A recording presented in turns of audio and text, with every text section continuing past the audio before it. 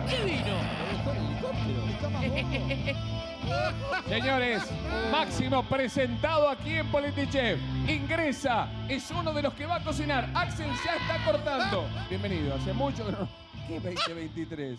No, porque te me estoy preparando. Pues si te dormís, te duermen. No, no, no, está bien, está bien, Che, perfecto. di- disculpa que te estacioné el helicóptero ahí porque tuve que venir con el helicóptero, ¿viste? Ah, perfecto. Lo estamos probando por si lo tenemos que usar en cualquier momento.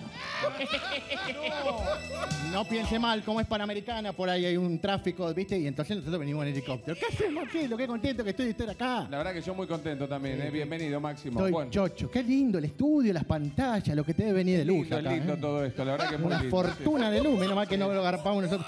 Escúchame, 2023, ¿qué tenés que hacer vos? Ah, yo sé que el 2023 no tengo idea qué voy a hacer. No Bueno. ¿entendés? ¿Querés formar parte de la lista? Máximo va candidato a presidente de 2023. Sí, no quiero decir nada más nada. Una lista estoy armando que por ahí puede participar. Lo que necesite, si quiere ponemos Guillermina, todo. No hace falta. Estoy juntando de ahora, porque no Claro. vaya a hacer cosas que después, a último momento, viste, que empiezan, Claro. no, que yo quiero estar. No, ahora con tiempo, que tenemos tiempo, vamos a armar la, la lista. Porque después, Falta viste. tanto. Sí, sí, falta, pero después te dormís y después no te queda nadie, viste. Perfecto. Ahí lo tiene el presidente que todavía está, está con el tema del repulgue. Está bien, ¿Qué- ¿Qué dice? ¿Qué dice? ¿Probaste alguna vez las empanadas sin relleno? O sea, ¿No?